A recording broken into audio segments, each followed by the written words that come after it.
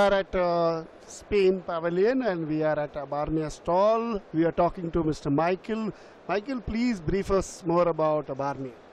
Yes, Ibarmia is a family company. Uh, we are in the market for the last 75 years, and uh, our headquarters are in Spain.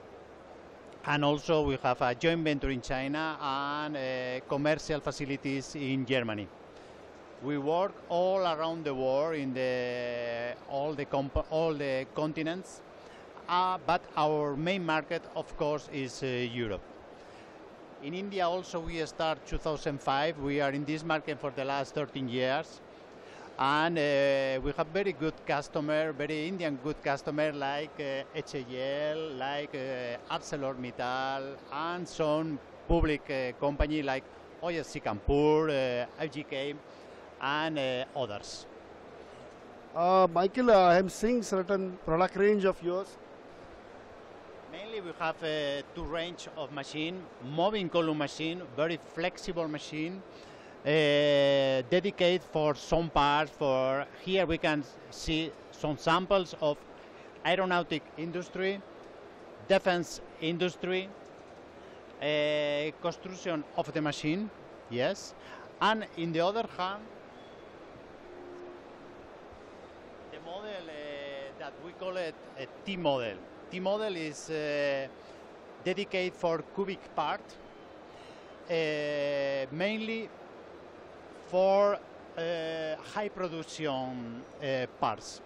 Of course, in both range, we can propose turning capability, multi-process. In the same machine, milling, turning, and also grinding. Uh, Michael, will, how do you perceive the future of machine tool industry in India and how Ibarmia is now banking upon that particular growth in Indian industry? We believe in India, and we think that in India we have a good, uh, good road that we must uh, to drive and increase the speed. This is why DJR also participate with my friends joking to support uh, this market because we believe in India. So, in short, what are the specific machines you would like to address where a very specific uh, application? Any of the machines which you would like to? Uh, the strong of Ibarmia is the flexibility in machine, but also in the sectors. We have, we can work in aeronautic, we can work in um, in molds and dies. All the all the different sectors we are we have we can provide very good solution that we we solve in Europe and we export to India.